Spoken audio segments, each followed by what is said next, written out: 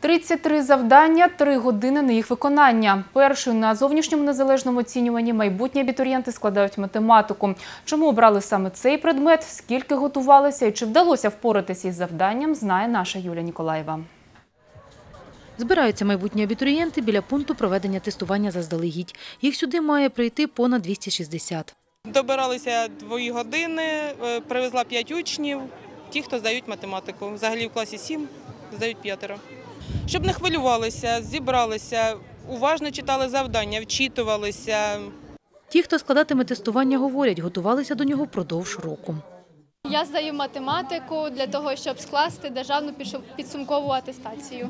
Дуже багато прийшлося повторити, особливо зі школи, і дуже багато формул. Але я сподіваюся, що все буде добре. Ну, я маю надію, що я здам ЗНО.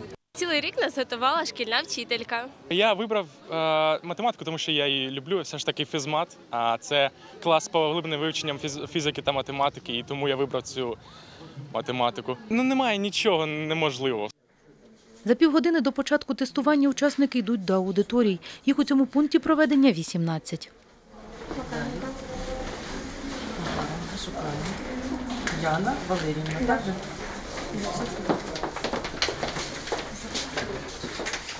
На столах у абітурієнтів повинні лежати тільки паспорт, е, сертифікат зовнішнього незалежного оцінювання, де робиться позначка про явку на сьогоднішнє тестування.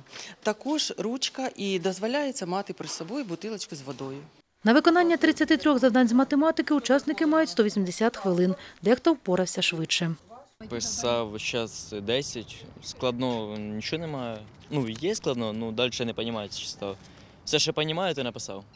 Знаю, що поріг перейшов е, менше середнього. Завдань я зробила повністю 30, а останні самі найважчі я не зробила. Я гадала, що буде складніше. Пробний тест був складніше, ніж цей. На математику зареєстровано було е, сьогодні на пункті тестування 261 особа. Не з'явилося 8 тільки осіб. Це 3% від загальної кількості учасників тестування.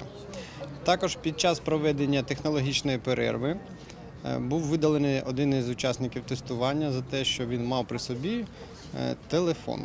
Телефон був вимкнутий, але все одно за правилами Учасники тестування не мають при собі мати ніяких технічних засобів, засобів зчитування інформації, збереження. Оголосити результати з математики мають не пізніше 14 червня. Наступне тестування для майбутніх абітурієнтів буде з української мови та літератури. Воно відбудеться за два дні, 23 травня. Юлія Ніколаєва, Олександр Сокол, Віктор Лапченко. Новини на ЮАСуми. Ми запитали у директора Харківського регіонального центру оцінювання якості освіти Олександра Сидоренка, яка явка майбутніх абітурієнтів Сумщини і чи зареєстрували у області порушення під час тестування з математики. Сумській області було зареєстровано 4548 абітурієнтів. Явка така середня з'явилася 96,3% з них. Це така явка, яка є в середньому і по Харківському регіональному центру. Працювали сьогодні 21 пункт в вищих навчальних закладах і в школах. Е, На жаль, мали місце випадки порушення процедури. Їх було чотири. Це було е, наявність заборонених е, предметів, забороненого обладнання під час виконання зовнішнього незалежного оцінювання. Це е, технічні пристрої різного роду. Телефони, це флешки, це наушники і все, все таке інше.